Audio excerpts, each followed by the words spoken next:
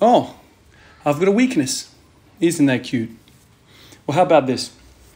I'm going to overtrain that movement. I'm going to overtrain those muscles involved. I'm going to hit it head on. That weakness is going to get punished. I'm going to get punished. That is exactly what my mentality is right now. I'm sick of this stuff. I implemented the, the, the, the deadlifts every day.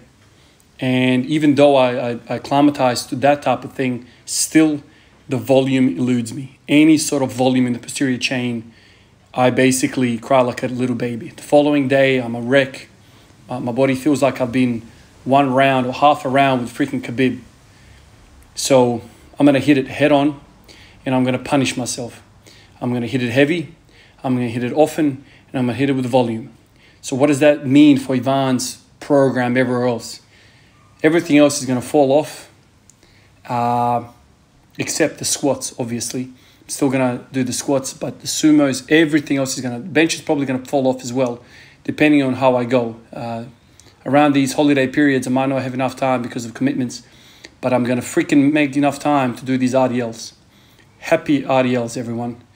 Um, for those of you that are celebrating Christmas, Merry Christmas, Happy Holidays. Spend it with your family, your loved ones, your friends. Um, I'm certainly going to do that. I'm going to try to do that. Uh, and I'm going to have some happy RDLs in the mix as well. I'm going to have my cake. I'm going to have my, my food, um, my 15 meals. And I'm sure going to have lots of, lots of happy RDLs. Um, today I hit 200 kilos for three sets of five. Yes, it's heavy. No, I'm not. Recovered from the other day. It felt extremely heavy, It felt extremely slow, but I rocked up. I'm going to force these adaptations. Um, this is not my style usually, uh, but I'm just freaking sick of this lack of conditioning to the posterior chain. I'm sick of it. And this is probably why I have anterior pelvic tilt. This is why my, my gut sticks out, my butt sticks out. I've got that cross syndrome sometimes I look at myself in the mirror, I'm like, the hell, if I put on pounds and I look at my, my lower back, and my lower back is basically at the midline if you look at me from the profile. So I've got this anterior pelvic tilt. Um, I feel like if I hit RDLs, I will hit all the necessary muscles, the adductors, the hamstrings, the glutes, the core, everything should tighten up. Um, I'm, I'm having fun, but it's, it's, it's hard work. It's hard yakka. Um, I just want to develop this thing. One of you fellas said to me, and actually a number of you fellas mentioned the same type of thing. You know, maybe I'm wrong. You guys were saying maybe you're wrong about your your hypothesis that your RDL is the weak link. Um, you guys have alluded to how my deadlift number is really really good, um, and my RDL number at 220 for, for two the other day is very very good. Um, so you, you know from that perspective, you could say that it's my it's my strength. Um, but I don't have capacity in that movement. So even though I can hit a one rep max that's decent, I still don't have the capacity. Um, and as, as I was saying to a lot of you guys as well, I, I think one of the reasons I am good in this RDL kind of motion is because my lower back has kind of been conditioned with the ATG uh, squats. One thing that I feel, I might not be correct with this, is that when you go into the bottom position, there needs to be a lot of force through those muscles which are causing you to go into lumbar extension. Um, so you have to kind of stick your butt out in the bottom of the hole to prevent butt wink. Um, I feel the RDL trains that. It trains it very, very well. And so um, I hope I'm going to become more comfortable in the back squat and probably in the front squat as well as I progress the RDL. Um, I don't know what the figures are, what the ratios should be when you compare the deadlift to the RDL, and frankly, all of those types of ratios that people come up with, you know, fancy calculators and whatnot. You know, it's very hard to generalize these type of movements for people that are coming in all sorts of sizes and leverages and training history and whatever. Um, I, for some reason, I feel comfortable in the bent over position. Um, I feel quite comfortable in that position.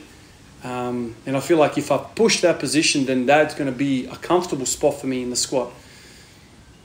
And also, it's making my hips feel amazing, man.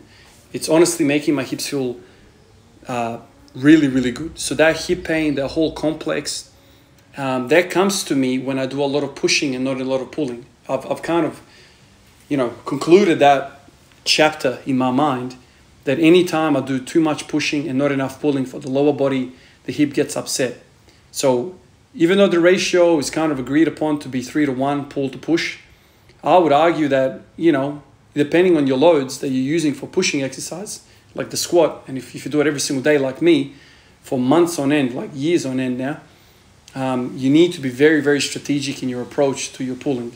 I don't think it makes sense in my mind to push really, really heavy with the squat. So we're talking 90% of your one rep max on a regular basis. And then you're doing leg curls, which are freaking 10, 20% of your one rep max in terms of your, your deadlift. I don't think that serves it well. I think you need to load the RDL really heavily. One of the things that I was thinking about while I was going through the motion today is Klokov. Once again, I think about some of these idols that we all have on a frequent basis. When I do front squats, I think of Klokov for whatever reason. It's just burned into my skull. His approach, his demeanor. I think about how he, you know, prepares for the lift. Um, and also think about now, once again, I, I, keep butchering this thing. I'm not an Olympic weightlifting uh, coach or, or, athlete or anything like that. I think they call it the, the hang snatch from a hang position around the knee. So in a snatch position, hands are, the bar's at the knee level. And so, you know, he's deadlifted it up. He's gone down to the knees. He, he's held it there. And from that position, he extends the hips and he goes into the overhead position. I've seen him do some stupid numbers with that position. And to me, when I do the RDL, when I, with the bar, even though I'm not in a snatch position, when I go down with the bar to kind of mid shin, you know, upper third shin, um, I'm thinking about the musculature which are involved for Klokov to do that. And it's, it's all posterior chain. Um, because the, the shins are vertical, I don't think the quads can contribute that much into that, you know, vertical uh, uh, movement of the bar. It needs to be an extension of the of the hips. So the RDL does that, does it really well. Although I'm not doing a powerful movement enough to cause that overspill of, of force for it to go above the, the end point of the hips. I'm not doing that, but if I load enough weight, then I sort of have, you, you could say, a similar type of force output. It feels good to me. My back feels excellent when I do this. My hips feel excellent. My knees feel excellent. Everything feels excellent. Um, which, in contrary, when I do lots and lots of squatting, heavy squatting, like say if I was to do 10 sets of three at 80%, something crazy like that, at the end of it, I am like I don't walk away from the from the scene feeling as good as I am now after an RDL session. Um, I mean, these sets are freaking heavy, man. Like, I'm not gonna lie to you, man obviously on the camera it kind of always looks so raw, but this is hard freaking work, man. I'm fighting, fighting, fighting the lower back to stay flat. Um, the core at the front is flickering. I can, I can, feel the contractions on the anterior core. Um, I think it was only two days ago now. Two days ago that I did the, or maybe even three days ago that I did a similar type of thing of 200 kilos for, for a number of fives. Um, but I'm going to attack it. I'm going to freaking essentially overtrain. By, by the books, for people that say, if, if people were to look at my program, they're going to be like, you're simply overtraining. I don't care. You're overtraining if you are doing everything else that people do. But if you're only doing a freaking RDL and you're only doing a front squat and nothing else, I'm taking all my freaking recovery points and putting into the RDL. I'm putting it into the RDL. Uh, I'm not doing anything else. And so, I don't know. I feel it's going to be adapt or die.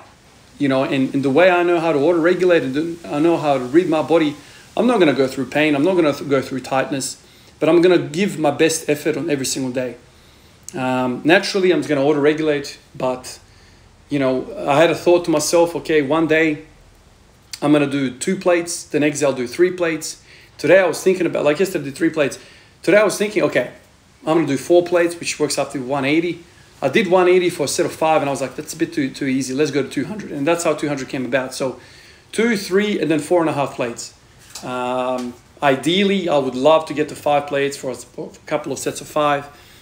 Um, maybe one of these days I'll throw in a deadlift off the ground to see how that's feeling in the midst of all of this freaking pulling. Um, I feel, I don't know, we all might be different, different leverages, arm lengths, or whatever. But that initial portion of the deadlift off the ground, that you know, starting position to about mid shin, exactly where the RDL starts, essentially. That to me, that range of motion is the most taxing because that range of motion puts the lower back in some sort of a freakish strain where maintaining the lumbar extension or, or, lumbar kind of neutral spine, it's extremely difficult. The moment the bar gets around mid knee, kind of knee level, midway, or, or even like where the tibial tuberosity is, like that kind of level, um, I feel like it's a good spot for me. I feel really strong. And this is where I feel like if you have really long arms, that position can be extended to maybe mid shin. So it's, it's an interesting thing. So deadlifts, like if I was to do 200 kilos for three sets of five on the deadlift, I think it would be much, much, much more taxing for me. Number one, there's no eccentric portion, so there's no bounce, there's no elastic kind of potential energy stored in my system for me to come out of the hole. It's all dead lifting. Uh, so I feel like this is a nice little workaround to get heavy ass weight into the into the system without breaking inertia. And I think breaking inertia, and that is that is the the true the true difficult aspect of lifting, in my opinion. I mean, like you know, I'm, I'm when I make these videos, man, like I hope you guys are not taking a freaking gospel. This is just me freaking talking about my experience with the barbell. Um, I don't want to come across like I'm some professor, I'm some guru. I have to re reiterate. I've, I've said this number of times. I don't stay. I don't hold any state, national, world, international. No titles have Ivan. You're never gonna find my name on any of those tables. So I'm not somebody to listen to and be like, okay, Ivan is an expert. I'm just a hobbyist, man, that, has taken a love to this. I've, I've done a lot of watching of videos, a lot of reading on, on various different websites, and I'm just basically documenting my journey through this. And so when I say stuff like I feel like the RDL is less taxing than the, than the deadlift pull off the floor, that's my experience. You might completely different, right? You might have really long arms that go to freaking your kneecaps when you're standing upright. You know, for you might be different. Um, but I think you know, uh, I think it's important for me to share my my experience, my my view. A lot of you guys have messaged me like Ivan. I've got the exact same body proportions. I'm taking a real interest in how you think about training, how you approach training, how you approach your problems. So you know, you know, I'm I'm happy to make these videos um, for people that that are getting something out of it. But if you if you're listening to this and you're like, oh, Ivan's, you know, where's your credentials, man? Like you're not no one. Look, I listen, I hear you, man. Like I, I'm just a guy, man. I've said this in the past. I'm not a power lifter, Olympic lifter, bodybuilder. I'm just a guy that loves to freaking move the bar. That's it. And uh, some of my approaches might be, man, this guy's talking shit or whatever. Um, this is just my way of thinking things through. You know, I might be incorrect about some of these things, um, but I'm doing it my way, and because I'm not part of a team or I don't need to represent anybody, I've got the liberty to do whatever the hell I want to do. Um, so these RDLs, I'm gonna head like straight on. I just I keep thinking to myself like I don't know if you guys recall that video. I've been thinking about this video quite a lot. Do you guys remember when I tried 220 kilos on the back squat in the gym? And I took two bites at it. So I walked that thing out. There was no problem in the walkout. The pin squats kind of trained me to handle the bar really well on the rack position. Walked it out, got to a quarter squat, crapped myself with fear how heavy the thing was, and went back up. So as long as my body is vertical I was comfortable. The moment I started getting to quarter to that parallel squat position, my body started freaking out because I was unable to stabilize the spine under load. So the more I had forward lean, the more my body panicked. Like you can't stabilize this stuff. On the second bite, I kind of just went with it and I basically, to a degree, free fell to the ATG position, held it for a little bit and dropped it. So as I'm doing these RDLs, I'm thinking to myself, okay, I want to be able to hold the 220 kilo, the five plate RDL in my hands. So it's a bit different. Um, in my hands and stabilize that weight when that torso angle is increased. That's what I'm thinking about this. And if, if I get really strong, say I get to freaking six plates, stupid stuff, and I can do six plate RDL, I can imagine the 220 kilo squat feeling freakishly hard when I get to that leaned over position. Obviously, the quads and the adductors and all sorts of things need to kind of come into the picture. But as you guys know, I've said it many, many times over. My biggest fear when I'm in my garage, when I'm training, when I'm wherever, is my spinal health. That's my number one thing. And I feel like investing into something like an RDL or a good morning or something along those lines where you are not deadlifting, something that's kind of cheaper, I feel like it's such a good investment, man. It's, it's like you are banking some checks into something that's not going to fail you. Um, this starts with the spine for me. It's always going to start. The moment I feel lumbar flexion in a deadlift, you guys know I'm going to bail. So a lot of my one rep maxes, you guys are like, man, they looked easy. You looked easy, man, because I, I, I ain't going there, man. I ain't going there again. I've had a shit scared moment once where I almost snapped my spine when I was 2021, and that basically set in motion all of these events for me to end up where I am now. I, I had to be performance based from that moment on. I was never going to have another back injury again, and this has stayed with me. And so these these RDLs man, so right up my alley, man. So right, uh, right up my alley, guys. Again, I want to say, if you're celebrating Christmas, I want to say Merry Christmas to everyone. Happy holidays. Stay safe. We live in a weird, weird world right now. Um, just take care of each other. Stay safe. Keep training. And uh, I'll catch you guys in the next one. Peace out.